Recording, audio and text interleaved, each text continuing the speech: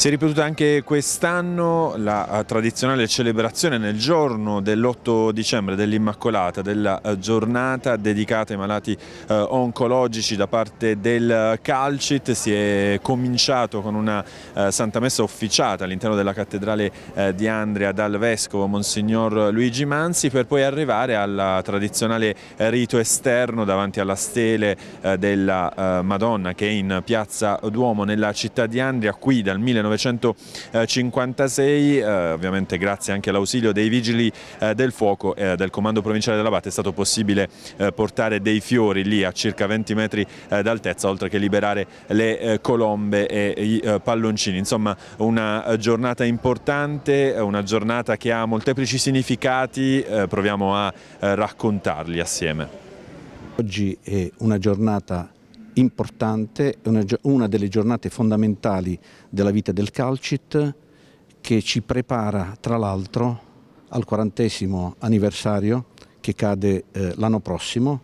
anno in cui eh, tra l'altro rinnoviamo le cariche sociali a partire da gennaio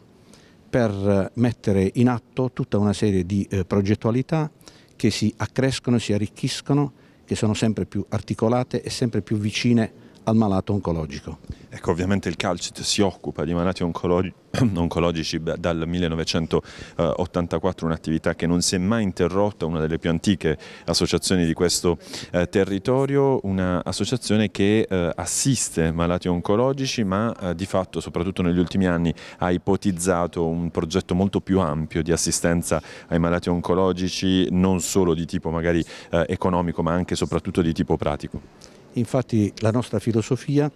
è passata dall'assistenza economica ad un'articolazione molto più ampia che prevede l'assistenza sanitaria da un lato ma anche eh, la promozione di eh, atteggiamenti eh, corretti che eh, costituiscono le basi per una prevenzione in funzione dell'insorgenza delle eh, malattie oncologiche. Eh, eh, in un anno in cui in realtà poi si, ci si proietta verso il quarantesimo anniversario di un'associazione che appunto lavora sul territorio da 40 anni. Sì, un lavoro, una presenza che è cresciuta col tempo, 40 anni chiaramente sono un impegno, una tappa, anche un modo di verifica